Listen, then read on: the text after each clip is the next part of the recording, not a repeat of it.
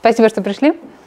А, так, значит, э, сегодня я хотела рассказать одну из самых э, любимых тем а, визуализации графов, потому что это, это очень такая э, красивая конструкция. Okay, so I will talk about straight line planar drawings. Uh, this is an example of a straight line planar drawing and connecting to the last lecture, I have to say that uh, our drawing convention in this case is that edges are straight line and also we require planarity. So al algorithms have to output such a drawing. But uh, in general, why straight line and why planar? This is one of the very popular drawing conventions, straight line and planarity. And the question is why? Why is it so popular? If there is any explanation from an empirical perspective. I mean, have been there any user studies showing that this kind of good, good conventions? And apparently, yes. Uh, here is a paper by Bennett, Ryall, Speth, Holtz, and Gooch in 2007. So the research on that has been done from 90s, but this paper kind of summarizing, it says, uh, the importance of avoiding edge crossings has also been extensively validated in terms of user preference and performance. It is beneficial to minimize the number of edge bends within graph. So it uh, refers both. So as few bends on the edges, so straight lines are best. And uh, avoiding crossings is one of the most important aesthetics. Yeah, this has been verified empirically. Uh, so yeah, this kind of support from the other community who does the empirical studies and kind of uh, provides mot further motivation for algorithmician to, to study those problems. Okay, so yeah, and the very first question here is whether just given a planar graph, so we know that the graph is planar, we know that it has a planar drawing, but in general, when a graph has a planar drawing, it means that it has planar drawing with curves, right? With some general curves. Does it always has a planar straight line drawing? Is it kind of trivial? It's not trivial. Yeah, so I mean, given such a graph, yeah, drawn with curves in a planar way, can we always construct a straight line drawing? This fact was proven multiple times by different researchers in the previous century. Uh, in particular, they proved that every planar graph has a planar straight line drawing. Uh, what was uh, the drawback of, of those approaches to prove that, that they were not really uh, constructive in a way the drawings that they implied had an exponential area. Yeah, you, you, you, were getting a drawing, but the drawing was so large, it was exponential in the number of vertices. So if you assume that your drawing lies on a unit grid, then the bounding box uh, was having an exponential area. And today I want to discuss uh, an approach uh, proven by Schnyder in 1990 that every planar graph has a planar straight line drawing of a size n minus 2 times n minus 2, so quadratic. Yeah? Quadratic, actually very, very compact. Um, this is not uh, the first uh, um, result proving that, proving that it's possible on a linear size, on a quadratic size grid, but uh, this is a very elegant one. Apparently, we will not show n minus 2, but we will show to n minus 5 time to n minus 5, but you will get a very good idea of how to do it for n minus 2 time n minus 2.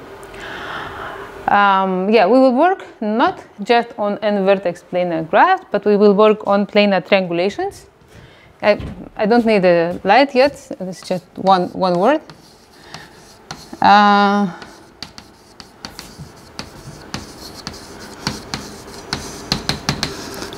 planar triangulations, meaning that all faces are triangles.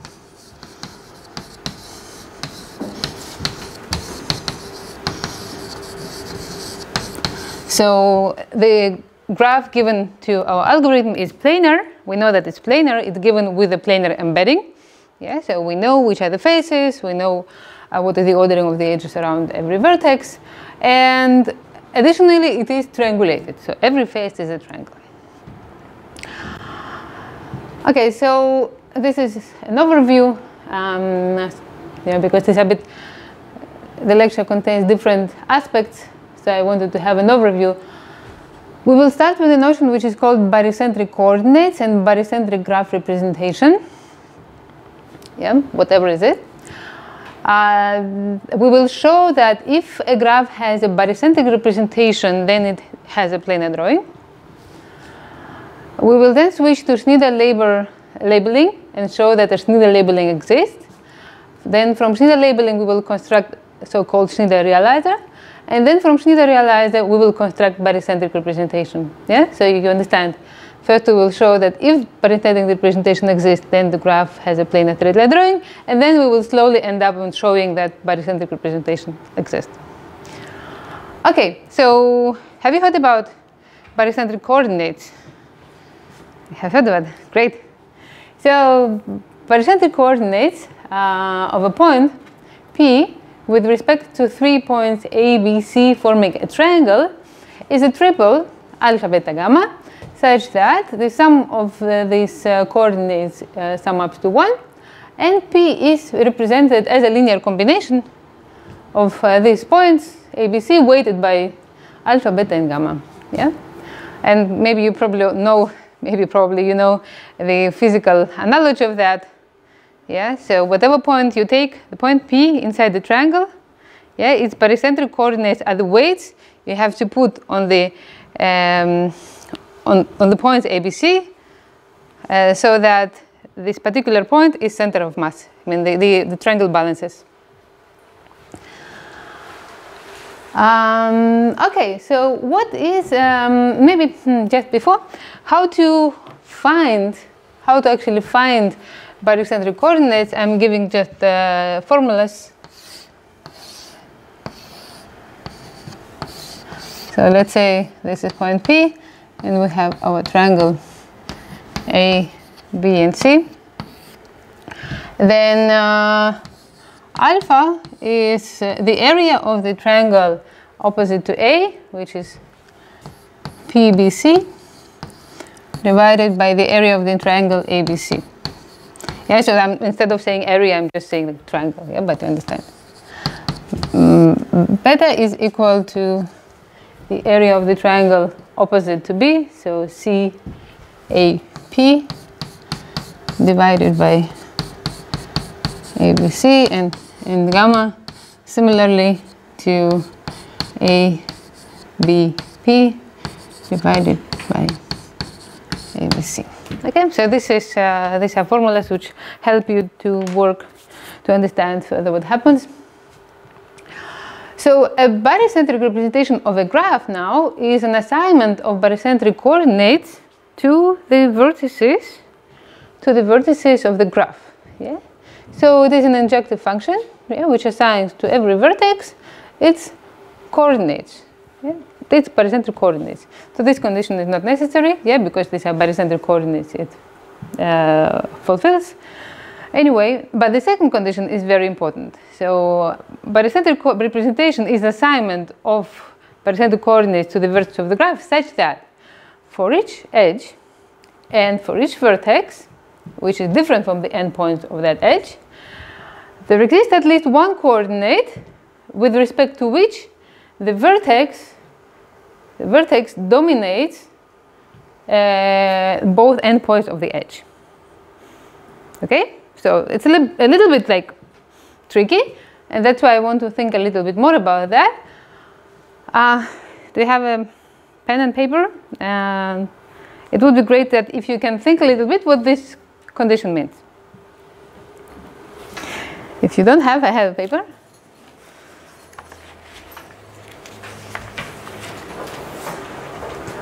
Just like uh, maybe a, um, a minute.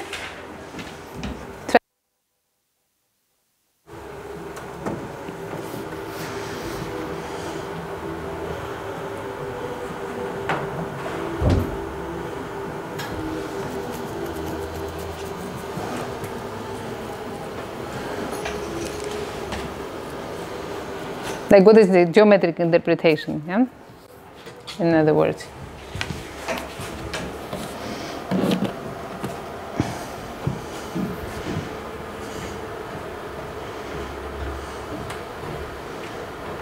You, you need that, yeah? You need you definitely need to use the fact what what are the barycentric coordinates actually.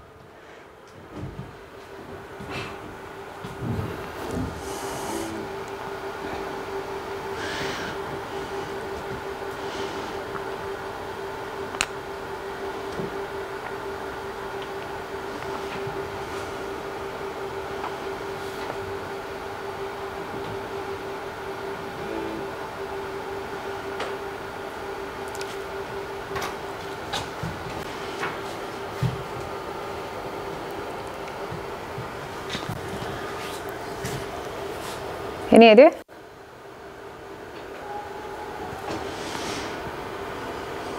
Not yet?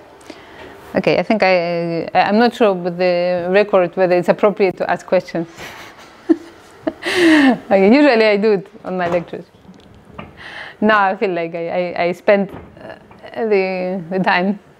Okay, so um, good, so I'm going to tell you what does it mean.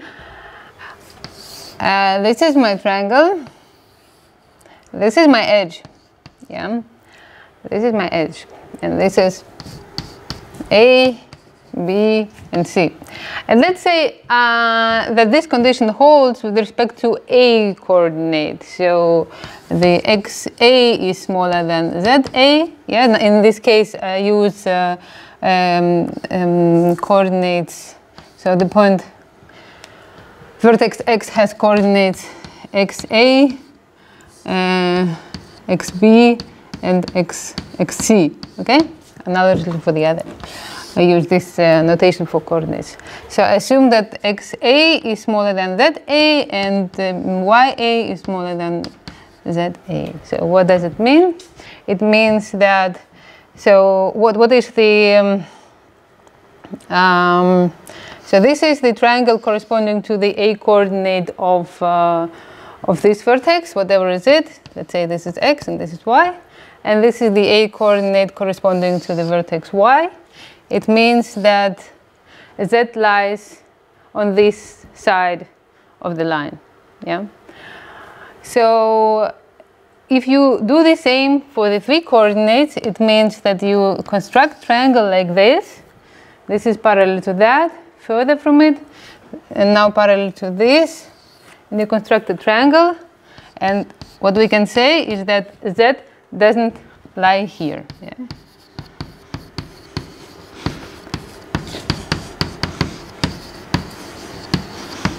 Yeah, so this condition means that z doesn't lie in this triangle, but somewhere else. So apparently this condition is so strong that it allows us to show planarity. Yeah? So we just have defined this barycentric representation of a graph, and next we are going to show that if a graph has a barycentric representation, it has a planar drawing. Yeah, so barycentric representation induces a planar drawing. And here it is.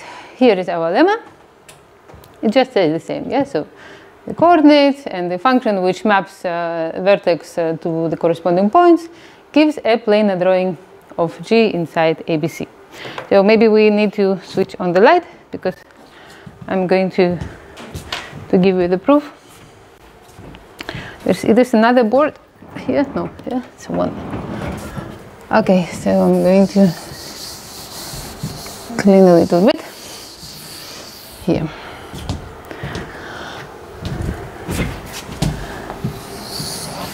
So this is um,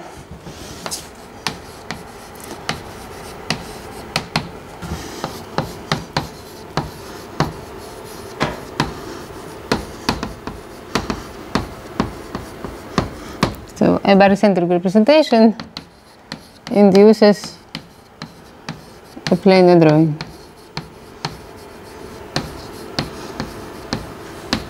Like a, a short summary of what lemma is saying. So, the proof.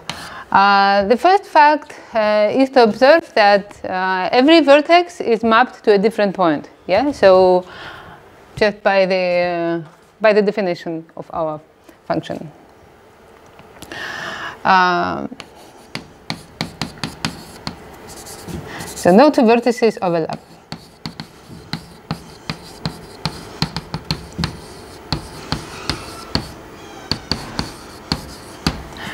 The second thing is to observe that no vertex, no vertex lie on an edge. So this doesn't happen just because of this condition. So by second condition, no vertex lies on an edge. And the third fact we have to prove is that no two edge, edges intersect. Yeah, that's the most interesting. So the question is whether two edges can intersect. And let's call our edges xy and uv. Yeah? And yeah, so let me assume the same notation like x a b x b x c for x and so on. And I'm applying the second condition now to every possible triple here. Yeah, so um, let's say I'm applying it to x and u, uh, uv. Yeah, if I'm applying to x and uv, it means that um, x there exists i, yeah, in ABC. Yeah, better let's let's call them one, two, three. Yeah, instead of ABC. There exists i in uh, one, two, three, such that um, xi is greater than yi and uh, and vi both yeah so now i'm doing the same again for y so y j there exists j another index j in 1 2 3 such that yj is greater than uj and vj further there exists k yeah, such that such that uk is greater than xk and yk.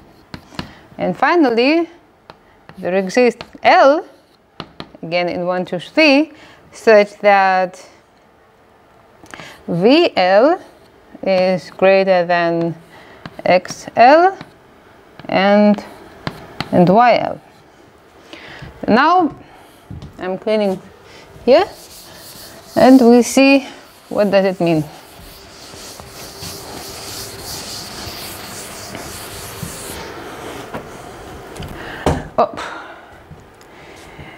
So, so there's some uh, some contradictory facts. Yeah. So we have xi here and yi here, and on the other hand we have um, y here, uh, u here, and x here x u u x. So which means that i and k cannot be cannot be equal. Yeah. So i is different from k, and on the other hand we have uh, v. Um, we have here um, we have here w and we have here v and we have v and W, which means that J is uh, different from J is different from L. and J and L cannot be equal. Uh, it means that, uh, and but all I, J, K, and L, they belong to the set 1, 2, 3, yeah? Uh, which means that either uh, I is equal to J or K is equal to L, yeah? So let's say we have that I is equal to J, I is equal to J, yeah? Which implies, that's without log of generality, I is equal to J, which means, let me just rewrite it, xi is greater than ui vi, and on the other hand, uh, ui is greater than oh, w oh, yi is greater than ui and vi. Okay, let's now uh, see what this happens. If you remember, uh, this means that if uh, this is uh, u and this is v and this is point A, then um, both x and y, x and y lie on this side of this line yeah. So means that x xy and UV are separated by a line parallel to BC.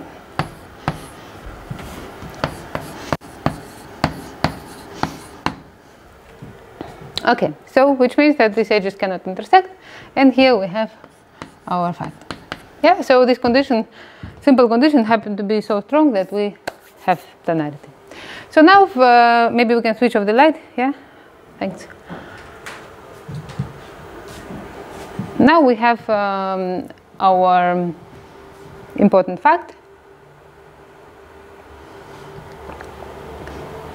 And what we want to, to do from now on is to construct a barycentric representation. Yeah, so I'm not going to talk about planar drawings anymore. The only thing we have to do is to construct a barycentric representation. Okay, so we now start with Schnyder labeling. We will show that Schnyder labeling exists and then we will show how from Schnyder labeling to go to Schnyder realizer and so on. Okay, so what is a Schnyder labeling? Schnyder labeling of a planar triangulated graph is a labeling of internal angles with labels 1, 2 and 3 such that two conditions are fulfilled. The face condition and the vertex condition. So what is the face condition? The face condition says that every label appears once and they are arranged in a counterclockwise order. So every label appears in every face once and they are in counterclockwise order.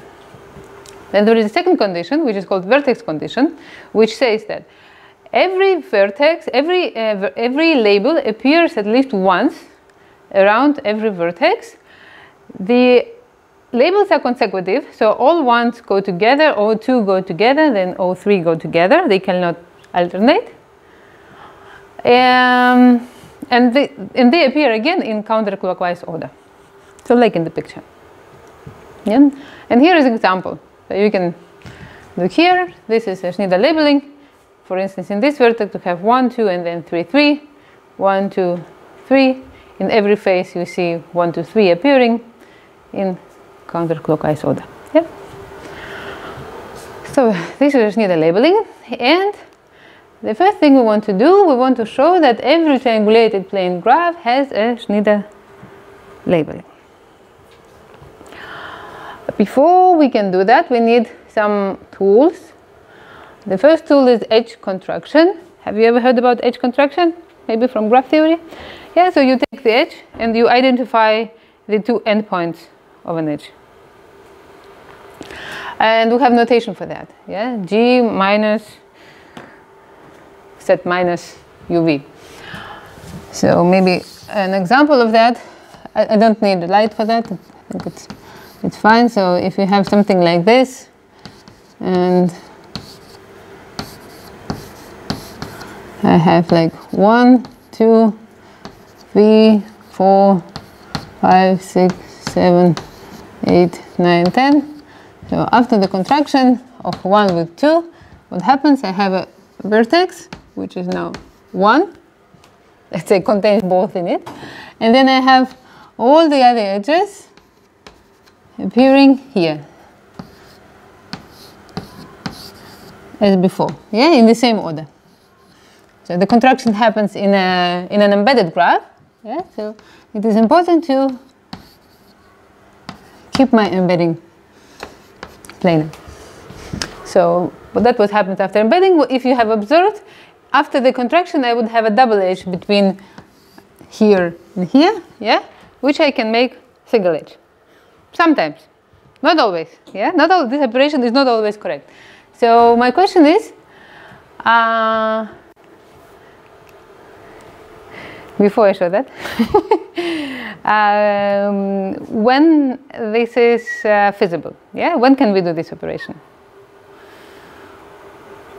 so that we still have a planar graph, a simple planar graph. It means we don't have double edges between the between two vertices. So this. Uh, hmm? No, no common neighbors. You mean no common neighbor between one and two? They have a common. Yes, so, but maybe then I don't understand the question You don't understand? Yeah. The question. Yeah. Um, so you saw here that I can, could do the contraction and I could remove the double edges, yeah? And everything is fine in my embedding. Now imagine that this is not empty. So. Yeah, there is part of the graph inside, yeah? That's why I removed this item here, because you probably know what separating triangle means.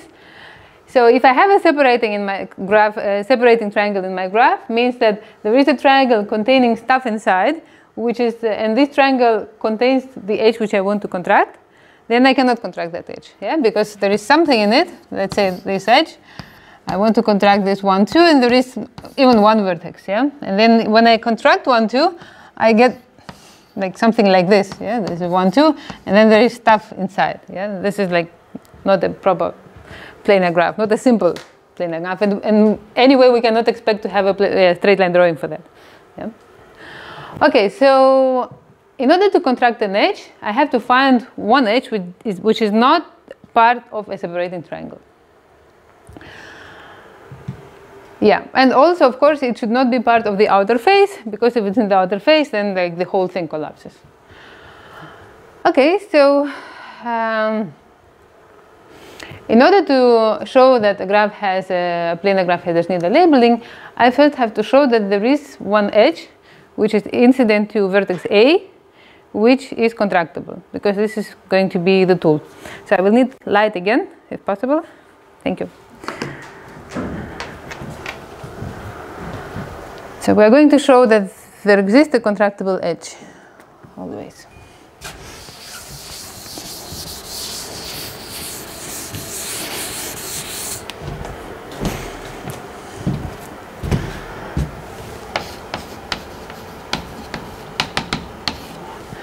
So the proof is by induction on the number of vertices in the graph. Yeah?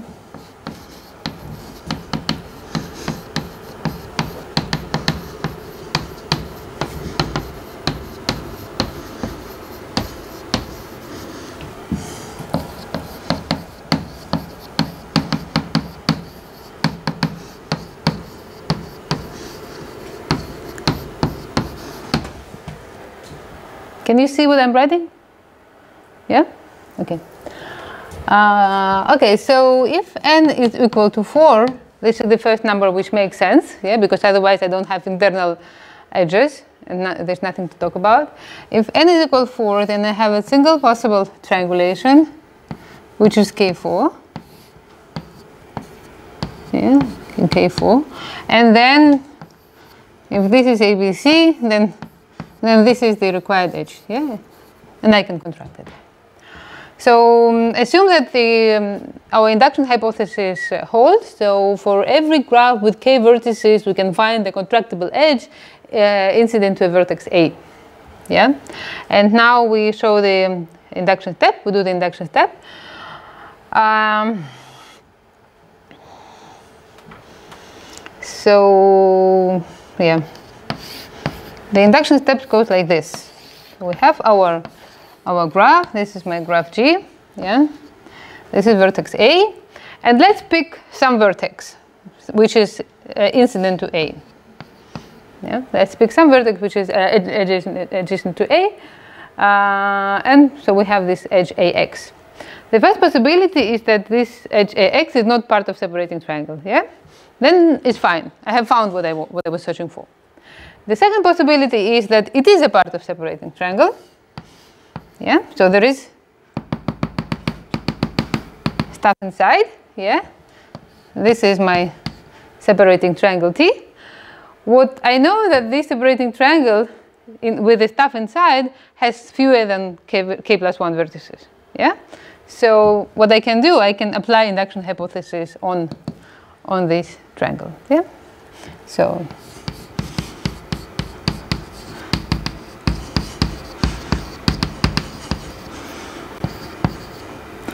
On graph in T. Yeah.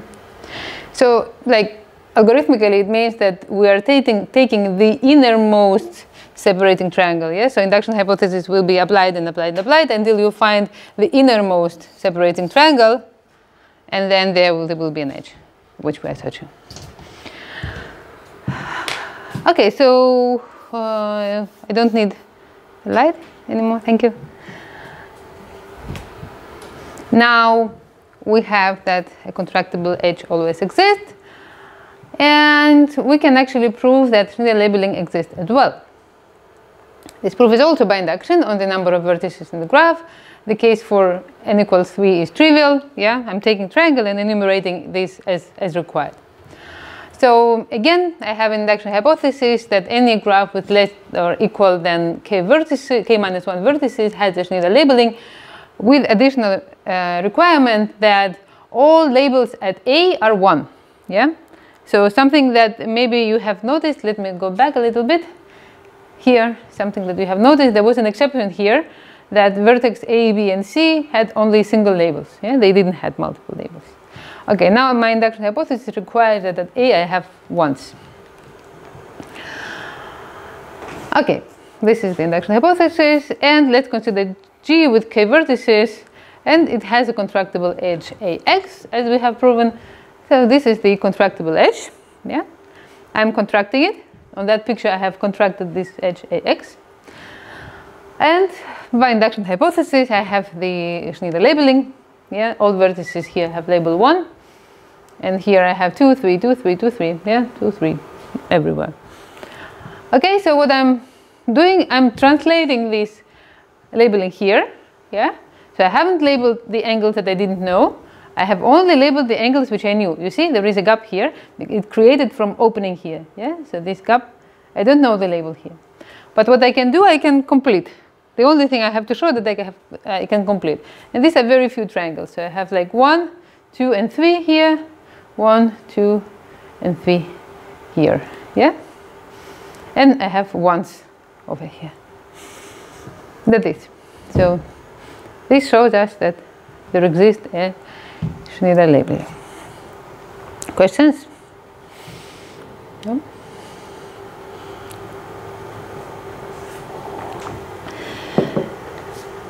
Okay, good. So now we will go from Schnyder labeling to a Schnyder uh, realizer. And uh, this is done as follows. If we look at any edge in my triangulation and observe the Schnyder labeling, what we will see is that on one side we always have the same label and on the other side we have the two other labels. So what we do, we direct the edges towards the similar label yeah, we direct the edges towards the similar label and we label them. Label them as as the, uh, the, the pair of labels indicates to us. Yeah, so this gives us a labeling and orientation of the edges. And if we look around the vertex, this uh, looks like this. So we'll have um, edge between two different labels is going to be uh, directed further from a vertex. Yeah? So between two different labels, we have label pointing out. Again, you see it here and you see it here. Yeah? Uh, when we have two similar labels, the edges are going to be directed towards the vertex. Yeah? And now what I'm doing that instead of labels, I'm using colors so that it is a bit more, more clear what happens. I have, uh, for one I have red, for two I have blue, and for three I have uh, green. Yeah? And you see a very, very, very clear pattern here. Yeah? The pattern is like I have uh, blue outgoing and blue incoming here. Yeah? Or maybe let's say I have blue, red, and green outcoming, and then uh, the, the outgoing and the incoming are exactly in the opposite quarter. Yeah? So the blue incoming are between the red and green outgoing. Yeah? And this is true for all the three colors. Yeah, so this is the general pattern to see it a bit better. Uh, yeah, and here the definition of a Schnyder forest comes. So this, this way the Schnyder forest or realizer is defined.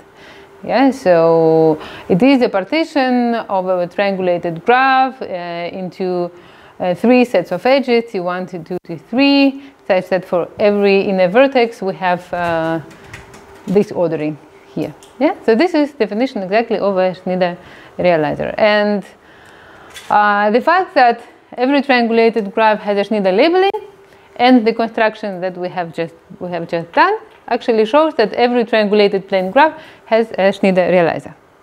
Yeah? So it just follows trivially. Okay, so here is an example. Yeah, we have Schnyder labeling, and here is uh, the uh, coloring, yeah, coloring of the edges. You can see at the vertex, uh, for instance, we have red outgoing, blue outgoing, green outgoing, and the red incoming is between the other two color outgoing edges. Okay, so now you, you are far away and you can see a bit better. Do you observe something about uh, the monochromatic graph? If you take only the red graph, is it something specific? Or only the blue or only the green? Mm-hmm. This? Yes, it is. Uh, so, to take it a bit slowly, for each vertex in the graph, we find a directed path in all three colors to the vertices in the outer face. Yeah, whatever vertex you take, for instance, let's take this one, you find a red path, a green path, and a blue path to the vertices on the outer face. Yeah, and this is kind of easy to see exactly because every vertex has an outgoing edge in every color. Yeah, just because we always have a change from 1 to 2, from 2 to 3, from 3 to 1. Whenever we have edge change, we have outgoing edge. So every vertex has an outgoing edge in every color. Just by following this edge, you end up in the outer face. And then the second thing is that no monochromatic cycle exists. And this is something that needs a little bit more uh, argumentation. Um, so if you, the, the fact which is easy to see is that there is no monochromatic um, kind of oriented cycle, not directed cycle, but cycle of this type cannot exist. Yeah, just because you don't have a vertex with two outgoing edges. Yeah, but maybe such a cycle exists. Yeah, maybe a directed cycle exists, and so let's think a little bit about that, why this doesn't hold. Let me just draw the, the pattern again. Um, the color pattern is like red going up, blue going left, green going right. We have the green here incoming, the red here, and the blue here. Yeah. So let's say for that log of generality uh, that this cycle is red. Yeah. So if this cycle is red, yeah. Let's look, for instance, um, at this vertex. Yeah. So this vertex need to have a green edge, which lies here. Yeah. So it is uh, to the right of the red path. Yeah. It's it's incoming here. Yeah. So what does it mean? So it means that from this vertex I have another green vertex and another green vertex, another green edge and another green edge. Following, at some point it has to end up in the outer face, somewhere in my vertex uh, C. Yeah. So if you look now at this vertex here, you get a contradiction to to this. Yeah. So no monochromatic cycle can exist. And yeah, I'm not writing down the proof, it's kind of simple observation. So therefore, each monochromatic subgraph is a tree. It is connected, it doesn't have cycles, it is a tree.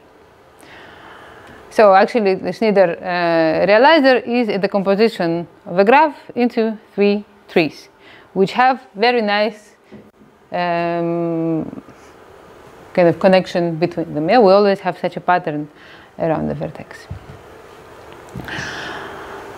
Yes, additionally, the things of the red, blue, green trees are the vertices on the outer face.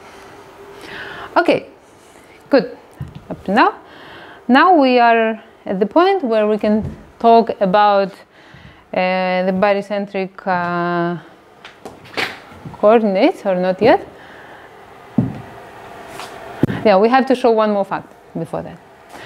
So as we said, for every vertex, we have three paths going to the outer face. Yeah. And let's, uh, so they kind of partition the faces of my uh, triangulated graph into regions, yeah, into disjoint regions, the faces. They partition the faces, and let's introduce this notation. So the area which is opposite to A will be called RAV, the area which is opposite to B is called RBV, and opposite to C, RCV. And the following fact holds. For inner vertices U and V, if U belongs to the I region of V, then the, the ith region of U is a proper subset of the ith region of V. It means that uh, RU contains faces out of V, but not all. And we're going to, to show that. Um, I will need a light.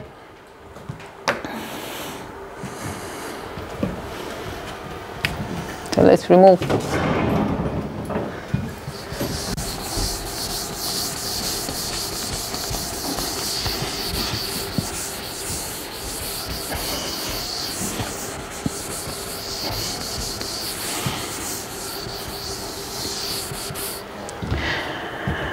Good.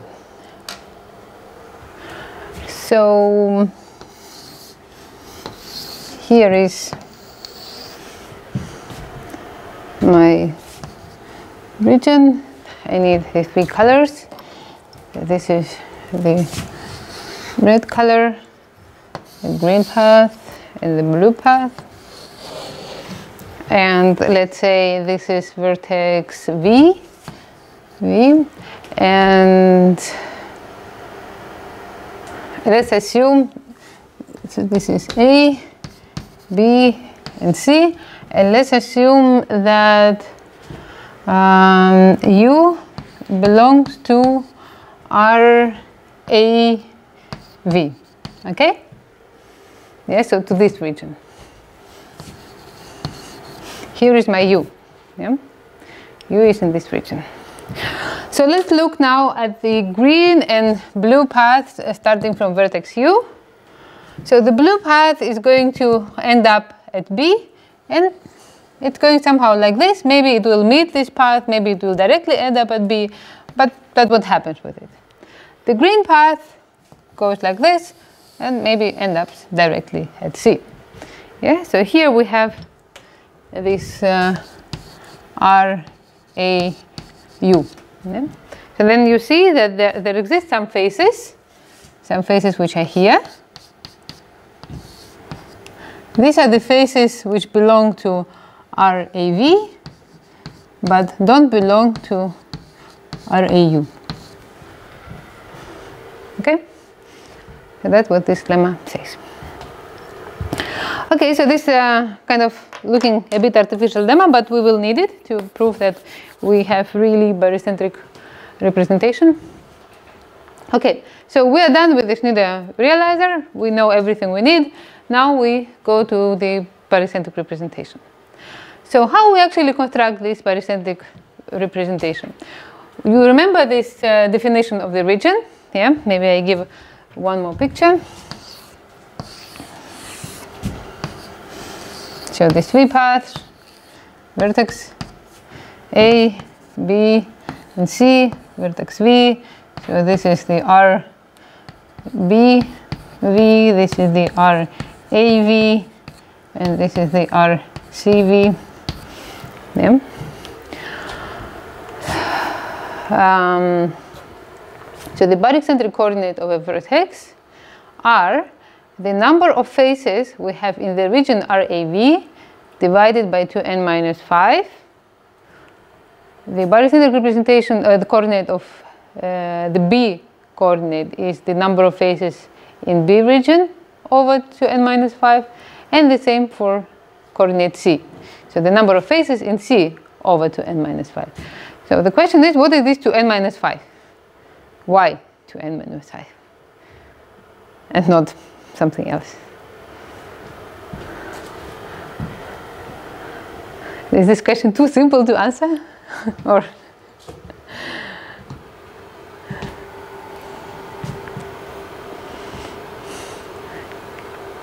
So these are the faces, right? So RAV, RBV, RCV are all faces or internal faces. Yeah, and by Euler theorem, we have that the number of faces in the planar graph is 2n minus 4.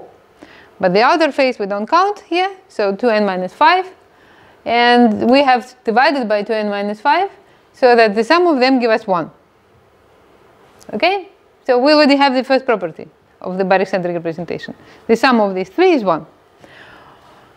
Okay, the second thing we need to show is that, yeah, this is, this is the assignment of uh, the vertices, uh, the coordinates uh, to um, points A, B, C, and they are done in such a way that we get grid points for every, uh, so every point lies on the grid, every vertex lies on the grid point, yeah? So 2n minus 5 so that it's kind of goes away with the 2n minus 5 and we get the grid point.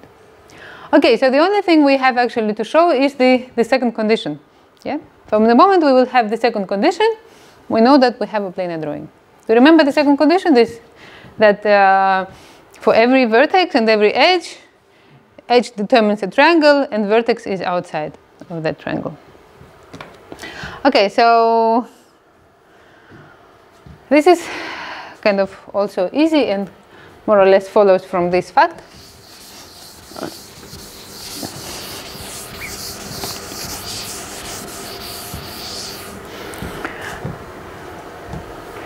So what I have to show is that uh, for each edge UW, yeah, UV, each edge UV and uh, vertex W, W,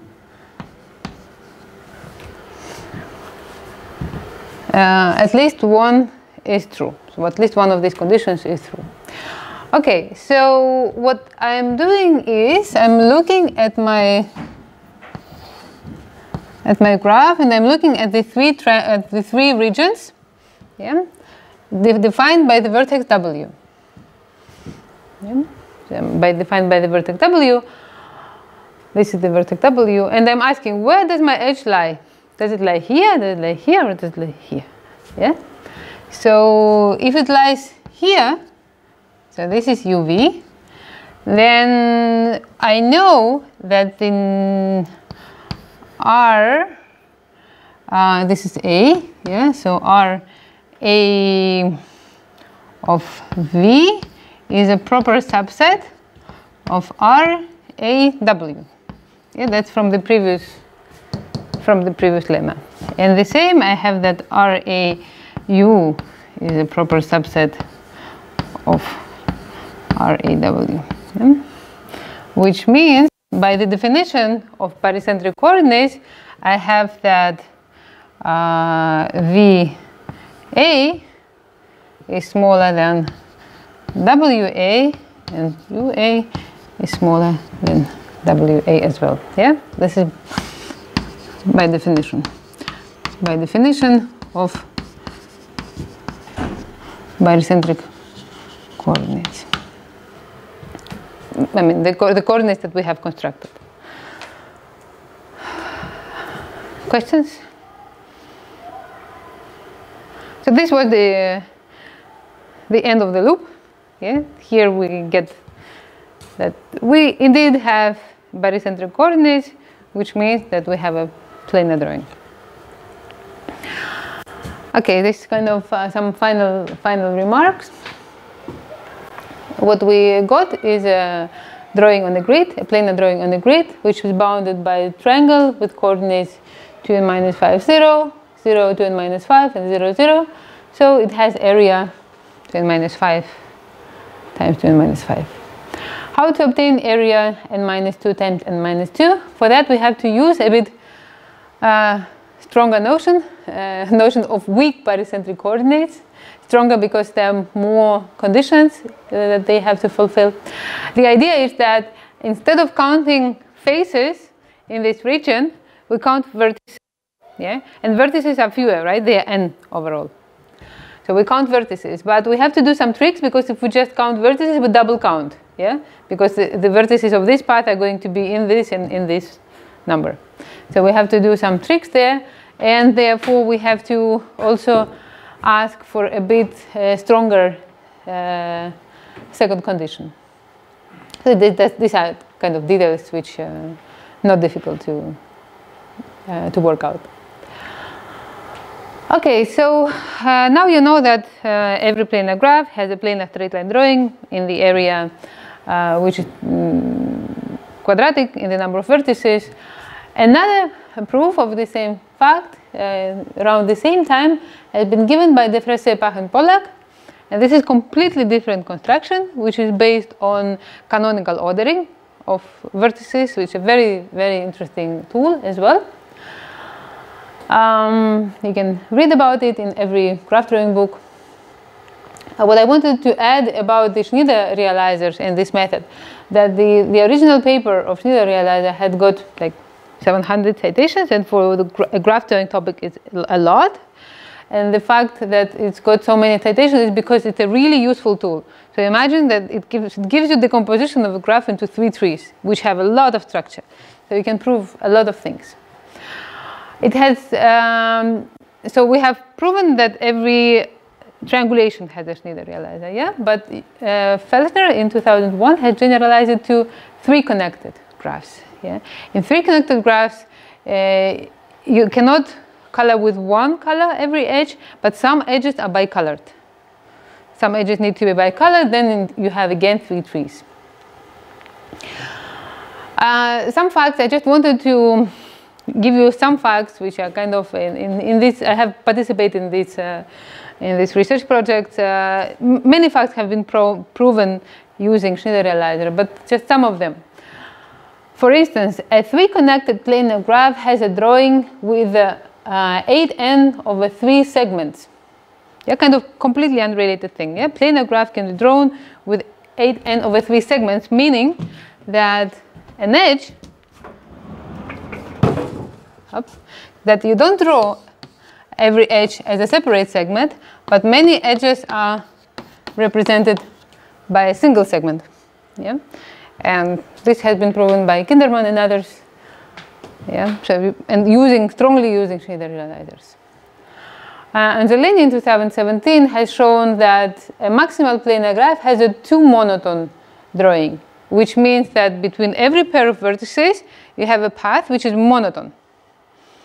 Yeah, not only drawing not only planar, but between every pair of vertices, you have a path which is monotone, and not simply monotone. It's monotone in one of two desirable directions. Yeah. So kind of unrelated thing completely, again using Schnyder realizers.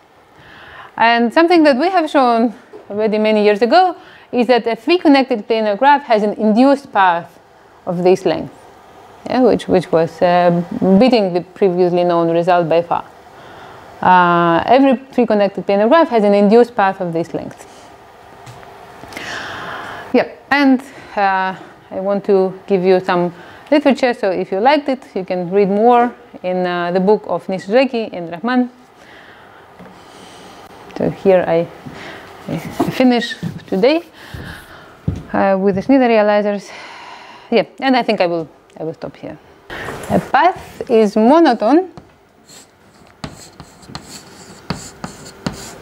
if there exists a line such that if you project the vertices on that line, the vertices, the projections appear in the same order as in the path.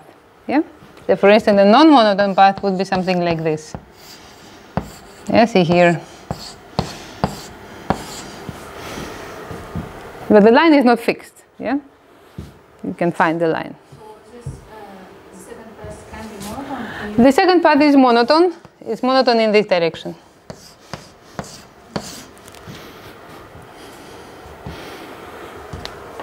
Other questions?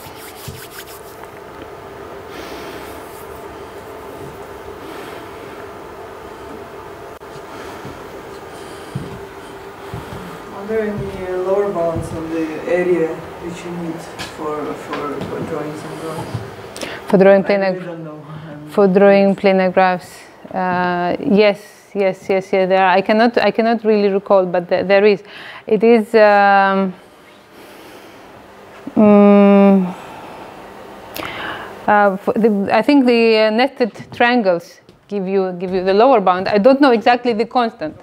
I don't know exactly the constant, but the class of the graphs is uh, this one, the nested triangle class.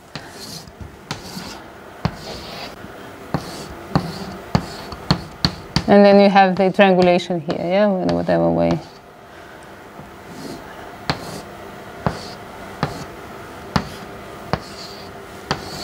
And so on. This is graph is squared area. Hmm? This means graph is squared area?